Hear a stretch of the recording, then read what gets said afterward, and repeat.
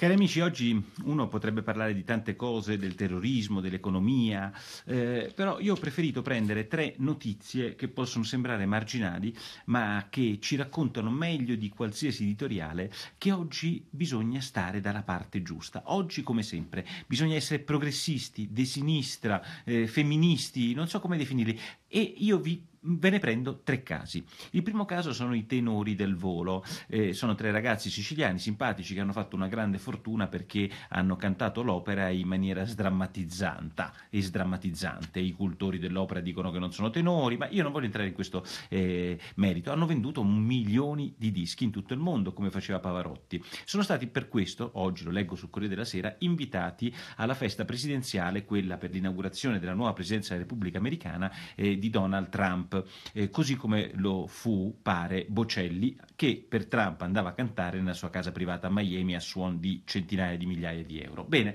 sono stati invitati e hanno rifiutato.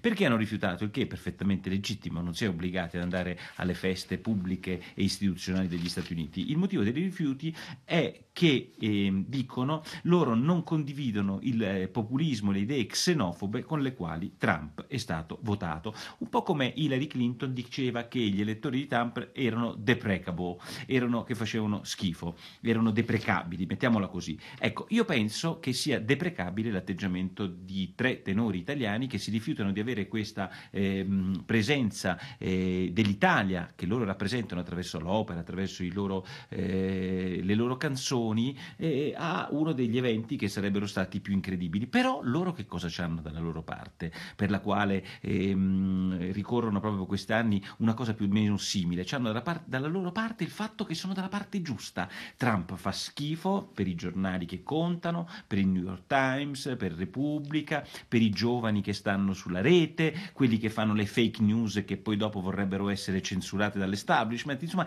in questo polpettone favoloso in cui io non mi ritrovo, loro non dovevano andare da Trump, perché Trump è il male, come lo era Reagan e come lo era il Cile di Pinochet, che quello probabilmente qualche male in più rispetto a Trump lo faceva, per il quale l'Italia non doveva andare, vi ricorderete, ricorre proprio quest'anno a eh, giocare la Coppa Davis insieme a Pietrangeli, che bene fece ad andare a giocare la Coppa Davis. Insomma, quello che io dico è, bravi ragazzi, siete stati proprio bravi, tosti, avete fatto un sacco di milioni e siete eh, eh, proprio l'orgoglio di questa Italia che resiste a Trump.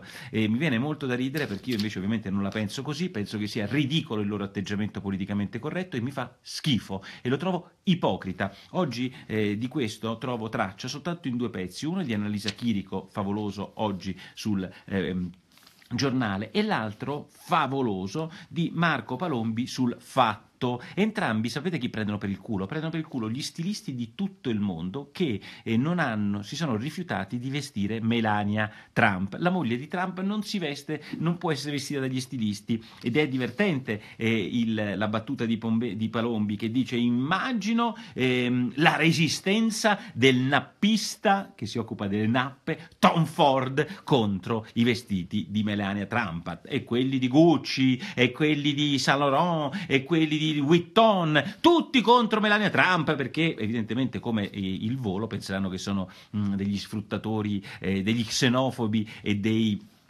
e dei, e dei, populisti. Ricorda Palombi, così come ricorda anche la Chirico, che queste case di moda sono le prime invece ad andare a sfruttare in Bangladesh e ovunque, ricorda Palombi, il basso costo del lavoro per fare più profitti veramente ridicoli. Meno ridicolo di tutti è il grandissimo, come sempre, Stefano Gabbana, come sempre, numero uno, a Dolce Gabbana non gliene fotte nulla di questi politicamente corretti, tant'è che dopo che ha visto che il suo vestito era stato indossato da Melania Trump, l'ha visto su un Instagram, cioè su una foto ma pubblicata su Instagram, sapete che ha fatto Stefano Gabbana? Ha ringraziato Melania Trump perché gli ha comprato il suo vestito. Bravo Stefano Gabbana, se ne è fottuto di tutta la polemica che è nata sulla rete perché lui si è congratulato con Melania che ha comprato il suo vestito, io se potessi a Melania Trump venderei il mio olio, il mio vino, tutto, come lo venderei a chiunque, perché vendere il mio prodotto vuol dire dare la lavoro alle persone che lavorano per me. Questo deve aver pensato Stefano Gabbana e qualsiasi imprenditore che deve essere solo onorato che i suoi vestiti siano utilizzati nelle cerimonie.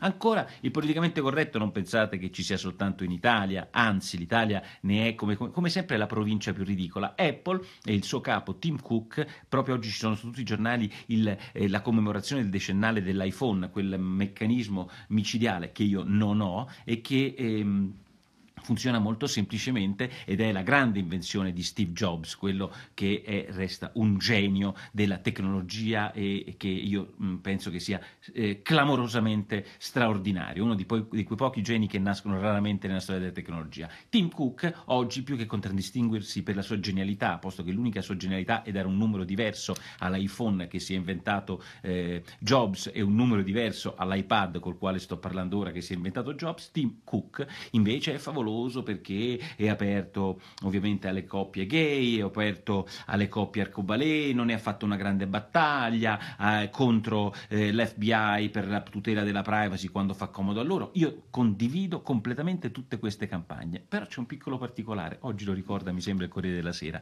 quando mh, in Cina chiedono a eh, Tim Cook di non mettere nel, nel, negozio virtuale l'applicazione del New York Times, quella che parla male di Trump, aperta la parentesi chiusa la parentesi, sapete che fa eh, Tim Cook? Accetta. Quindi in Cina non si può scaricare il New York Times, non si può leggere il New York Times, quindi accetta la censura dei cinesi nel New York Times. New York Times, che oggi ricorda il Corriere della Sera, fa un'inchiesta in cui racconta i miliardi eh, regalati dal governo cinese per costruire la fabbrica che produce gli iPhone e che non è della Apple, ma che ha la Apple come unico suo committente. Insomma, quando si tratta di soldi, la Apple è vicina al governo cinese e alla mancanza di libertà. Questa è la sintesi che può fare un po' il Corriere della Sera e che, eh, se volete, è un po' troppo sintetica. Quando invece mh, mm, non gli fa comodo, eh, fa i politicamente corrette. Mi chiedo se in Cina, come immagino, invece di censurare eh, il New York Times e, e, e, come dice la Apple, noi rispettiamo le leggi locali, che cosa fa? Rispetta le leggi locali la Apple in Arabia Saudita contro contro le, ehm, eh, il fatto che le donne guidino o contro la legittimità degli amori omosessuali? Eh, che cosa fa? Accetta la Apple che ne, in alcuni paesi arabi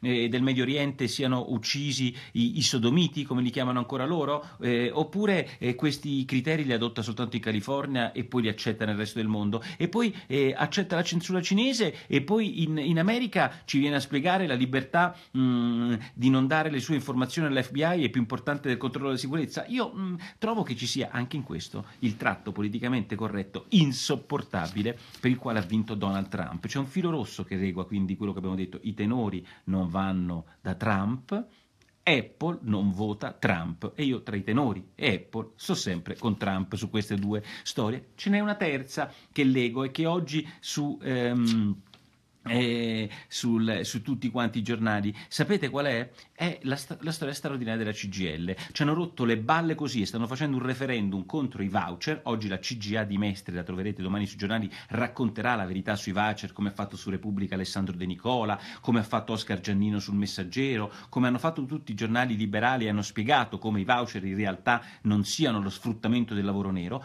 cosa che ha fatto la CGL a Bologna, mi sembra Bologna, perché la CGL dei pensionati a Bologna ha utilizzato per 50 non dipendenti pensionati che dovevano fare dei lavorati di volontariato questi benedetti voucher. Allora, oggi sui giornali c'è scritto, ma scusa CGL, voi fate il referendum contro i voucher e poi utilizzate i voucher. Voi stessi dovreste accorgervi che i voucher possono essere utili per far sì che non ci sia il lavoro nero, ma che si possano remunerare con l'Inps e con l'INAL i vostri collaboratori saltuari. Ecco, anche la CGL, la favolosa CGL, è quella che da una parte fa il referendum politicamente corretto, ma dall'altra, nel segreto delle sue sezioncine bolognesi, che cosa fa?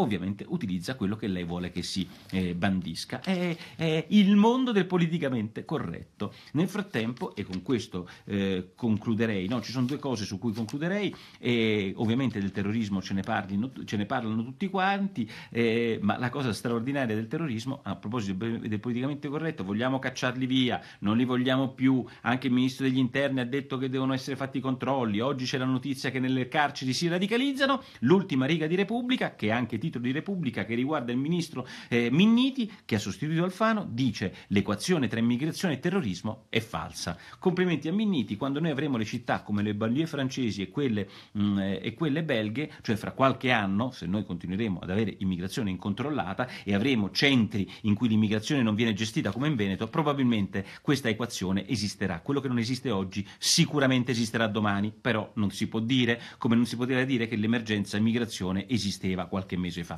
Grazie a Marco Travaglio, oggi sul fatto nel suo editoriale in cui prende per i fondelli eh, la authority di, eh, contro eh, le bufale, tante bufale che vengono fatte sui giornali non sono censurate, mentre quelle sulla rete adesso diventano improvvisamente un problema. Io l'ho scritto altre eh, centomila volte, ve l'ho detto centomila volte, lo scrive anche oggi, eh, come si chiama, Travaglio, e tra le altre cose prendendo per i fondelli eh, il Conte Mascetti e le sue incapacità manifeste, il RAI dice è riuscito tra le altre cose a chiudere Ballarò e Virus, due talk di successo. Quindi aver definito di successo da uno dei grandi nemici intellettuali del mio liberismo il talk virus mi fa grande piacere. Oggi la stampa mette su i numeri del fallimento del conte Mascetti, del quale noi ora che lavoriamo a Mediaset, godiamo come dei, dei ricci, cioè Mediaset dovrebbe inventare otto conti mascetti per poter prosperare, visto che oggi i numeri li fa la stampa, 2% di share in più, che non è poca roba per le reti Mediaset, e, e, e cedute dalla RAI. Insomma, complimenti al conte Mascetti, che oggi mi sembra su eh, il messaggero su Repubblica dice, forse era Fantana Rosa su Repubblica, dice che dovrà fare i conti con l'austerity e quindi dovrà fare tagli incredibili, visto i soldi che ha speso e buttati nel cesso fino ad oggi. Eh, oggi per oggi è tutto, buona Epifania e la, eh, come si chiama, la... Mm, la stregaccia oggi è venuta e ci ha portato per mano Apple, eh, Tenori e CGL. Ciao!